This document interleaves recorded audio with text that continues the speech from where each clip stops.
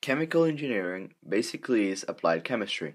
It is a branch of engineering concerned with the design, construction, and operation of machines and plants that perform chemical reactions to solve practical problems or make useful products.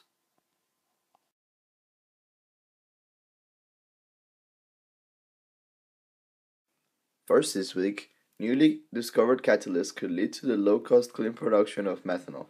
Scientists from Stanford, SLAC, and Denmark have created a new nickel-gallium catalyst that could someday be used to convert hydrogen and carbon dioxide emissions into methanol, an important industrial chemical and potential fuel.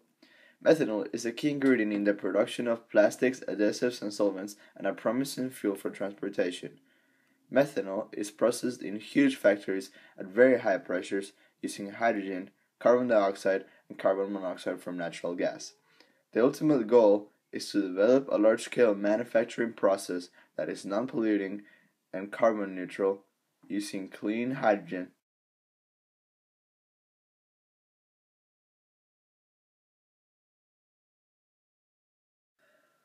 Second, this week, Stanford research reveals new ways to study and control crystallization. Scientists help create a novel way to do time lapse studies of crystallization that will lead to more flexible and effective electronic displays, circuits, and pharmaceutical drugs. Stanford chemical engineer professor Zhenan Bao and her team dissolved organic molecules into a solution and deposited this liquid onto a flat surface. Their innovation was how they controlled the process through which those organic molecules assembled and crystallized as the liquid evaporated. Bao and her team wanted to understand why their process created such an electronically useful crystal lattice, so they launched a new experiment with help from organic thin film characterization expert Aram Amassian, an assistant professor at King Abdullah University of Science and Technology in Saudi Arabia. The process of crystallization normally occurs in the blink of an eye. And the researchers needed to understand it at the nanoscale. To do this, they had to create a way to record and visualize molecules as they form crystals in slow motion.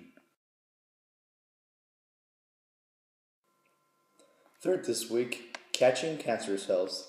Sunitha Nagrath and her lab developed a chip with other members of the translational oncology team, which seeks to produce technologies for improving cancer diagnosis and treatment that are ready for the clinic to help real patients quickly. When the team runs a blood sample through the chip, it can catch breast, lung, and pancreatic cancer cells. These cells can then be grown on the chip to learn more about the disease in a specific patient. This week is chameleon crystals can camouflage cars and the etc. Just as a chameleon can instantly morph its skin color to match the surroundings, a new method of controlling crystal using light chemistry could make clothing or cars change color on demand. Unlike for chameleons or octopuses, creating man-made materials that change color on demand is really difficult, said Mike Solomon, a chemical engineer at the University of Michigan in Ann Arbor, and senior researcher of a study detailed in a forthcoming issue of Journal Nature Communications. The method involves shining a laser on the tiny latex particles to make them assume 3D crystalline shape or pattern, such as a letter M. When the laser is switched on or off, the crystals appear or disappear.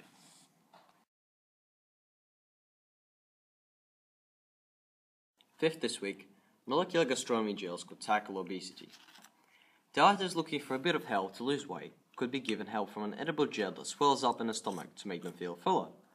Scientists at the University of Birmingham have a way of combining two food ingredients that, when they are exposed to stomach acid, will expand to form a solid gel.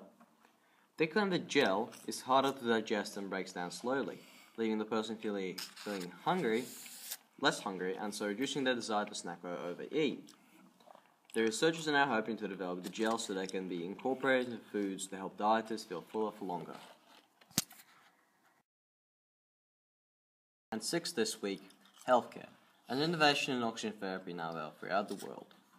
To facilitate the work of hospital staff, in particular in emergency rooms, and ambulance attendants, Air Liquide launched in 2013 the first medical oxygen cylinder with a digital interface. Thanks to its electronic, thanks to its electronic information system,